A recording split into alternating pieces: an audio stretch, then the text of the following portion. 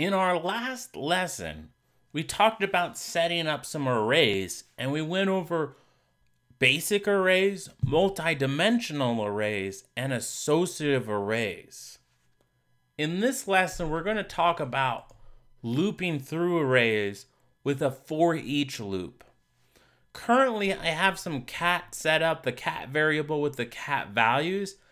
I'm going to come back to that and make some basic uh, a basic array just to get us started with that. So I'm going to delete this and maybe comment this out. And so you can see that it's commented out. And I'm going to go down a little bit further in my page. And then here's my HTML that I, we did previously. And I'm going to comment that out as well. Notice the syntax here as it got commented out.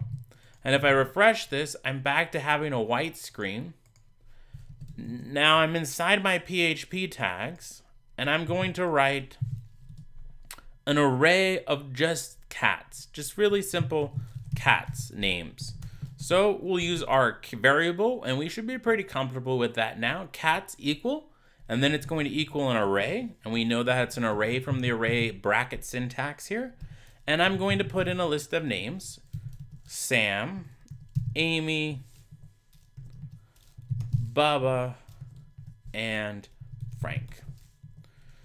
There are my array values now. Now I want to loop through these values. Now when we talk about looping, what we previously did was we echoed out the value and we had to reference the key, right? So the zero would be Sam. And if we reference this, you can see Sam. Well, in order to get all of those values, I would need to write something that looks like this. So one, two, three. And then I would get all of those values as you can see here. Well, that's not the best. Really, this took up a lot of code here. And imagine if I had an array that was 10,000 uh, pockets long or so, right? It doesn't make too much sense. So that's where I would use a loop to loop through the values and then apply something each time to that value. So I use a for each loop for this. And I just wrote for each and Sublime automatically uh, auto-completed it for me. So let's go through this. So for each variable as key arrow syntax value, I'm going to get rid of the key because we don't need to use that right now. We just need a variable and value. So I'm going to pass in the value of cats. So for each cats as, and then this is going to be singular cat.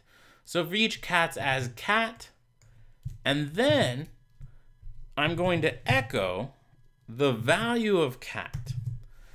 All right, now let's look through this and let's see it run just so you can see. It actually gives me the exact same results, and now I don't have to echo out each line. It's just going to loop through. And I mean that by like, let's say if I add another one and say uh, beans, and I click refresh, you can see it instantly added it over. So this is kind of, and I like to use this jelly bean metaphor for this. Imagine you got jelly beans. So I hand you a bunch of jelly beans, and then I say, I need you to do something to each jelly bean. So here's the jelly beans. So I say, for each jelly bean, as the individual jelly bean, I need you to toss it or eat it, maybe I would say, right? In this case, we're going to echo it. And that is what we would do here with cats. So for each cats, and I like to make this one plural and this one singular. And now they don't have to be, but it's just easier to kind of read the code and understand what's happening in that. So that's a basic for each loop. Loops through the values in an array. If we come back to our example previously where it said cat up here now, and we make this one, this was Sam and matched up here, we need to make this a little bit larger. So I'm going to delete this code here. And here's our cats variable. So I'm going to say cats equal. And this time, I'm going to grab this code here and take the whole chunk, put a comma, and paste another one right here. Then I'm going to put a bracket up top and a bracket on the bottom. And then I'm going to grab these and tab them over. So now it should look like I have an open tag for an array, a whole new array right here, a whole new array right here, and an array here that needs a semicolon to close the statement. Looks like I tabbed that in. Okay. So now I have two cats. I'm going to take the second cat and say Amy. And Amy is just one color. She is white. Well, she's like a light gray. So I'm going to say light gray. So Amy, she's also kind of fat and she's light gray. So there's, we got cats Sam and cat Amy. Now, if we want to loop through these, we can use that same syntax and we refresh. Notice cats is cats. This is now not going is is going to reference each individual instance. So that's instance number 1 and this is instance number 0. So if we refresh though, notice that we're echoing cat, we're going to get that array syntax string conversion error. Uh-oh. That's because we're trying to echo out this value. Well, we can't do that. So let's start by saying, let's just get the name. So I'm going to use, because it's an associative array, I'm going to say, give me the name field here. And now if we refresh, it says Sam and Amy. And then I'm going to run a new line here and say, get Sam and Amy and then get size. And refresh, and I get Sam fat, Amy fat. And then I'm going to do this one more time and say color. Now, one of these will give us, look at this, we got our air. Because this here, look at that, it doesn't know the value. So we're going to say number zero, which is the first pocket. And now we get Sam fat black, Amy fat light gray. Bunch of fat cats here. Here we go. So this is looking pretty good, but the structure doesn't make too much sense there. So what we need to do is kind of make that look like a sentence. And the easiest way to do that probably is to concatenate a string onto it. So to do that, I'm going to concatenate with some HTML. All right. And I'm going to do this a little bit slower because the, some of the syntax can get confusing for people. So I'm going to say echo, and then I'm going to do a space and a single quotation, like a string would be and I say the well, let me say hello. We're gonna introduce the cat, so we'll say hello, and then I'm gonna put a space and a dot, and this is the concatenation. That's that dot there. And if you're familiar with JavaScript, you'd use a plus in JavaScript. In PHP, it's a dot. So hello space dot, and then I can get rid of the echo because it's all gonna be on the same line here. So it's gonna say echo hello, which is the string, and then dot, and then the cat value. Now you can put a space in here. Sometimes I like to put the spaces in there. I put them on either side. These spaces next to the dot don't matter, but the space inside the string does. So I'm gonna put those spaces, and then here is another dot here. So I'll do a space and a space, and then another string. So it's gonna say hello, and then I want it to say the name of the cat. So hello, Sam. And then we're going to put a space because that's going to be after the name value. How uh, Sam, no, say hello. We'll go, my name, uh, hello, we'll do that. We're going to change this up.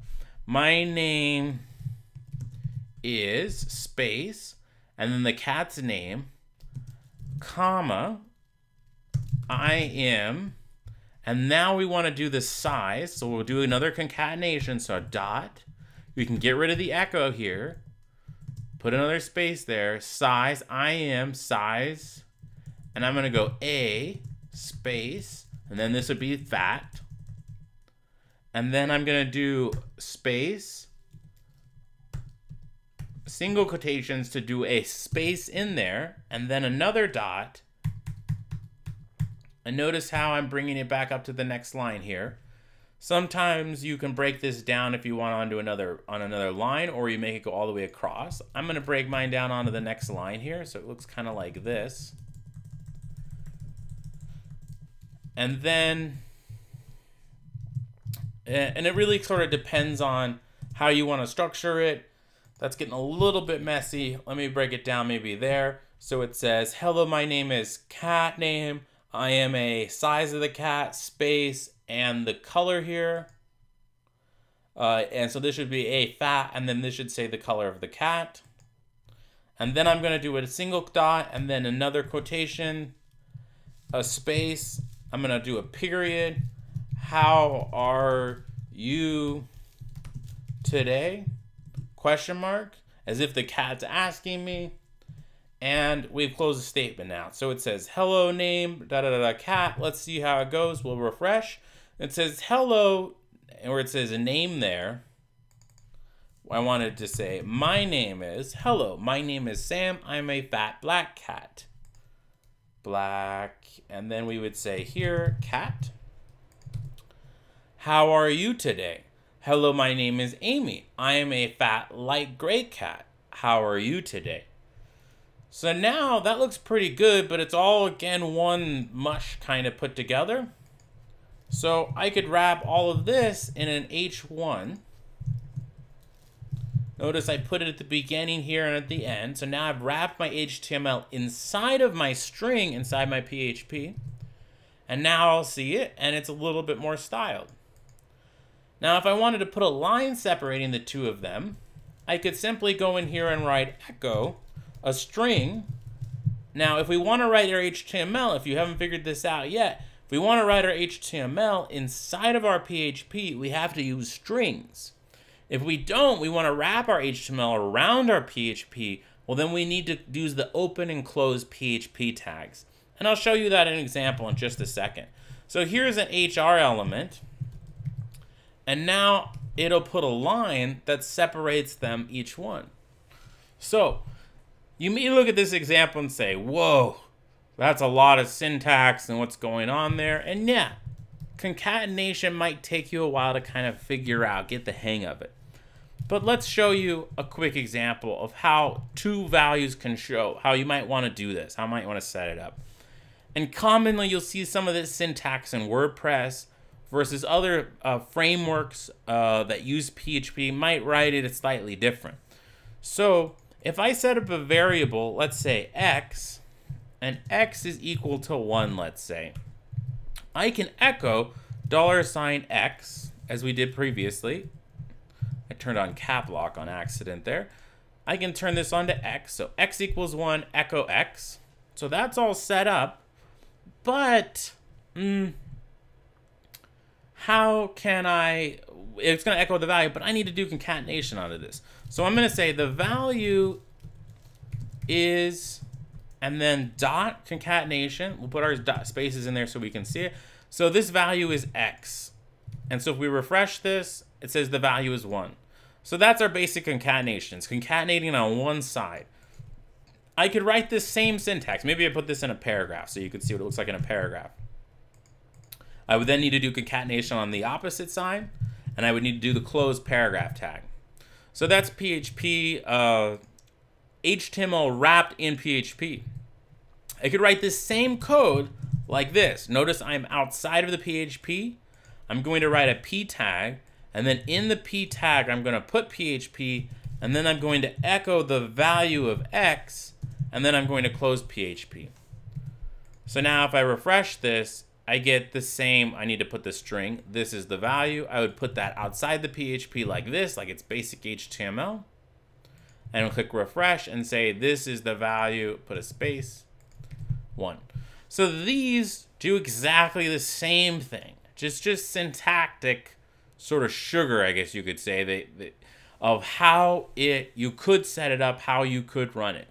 Now, as you get better at PHP, this is the preferred way of doing things because you don't have to open and close PHP tags all over the place, which this method goes in and does. So something like this, even though this may look a little bit crazy of all the open and close concatenations with the array values, this actually looks much cleaner than this way than if you were to do it this way because it would take a lot of open PHP and closed PHP tags.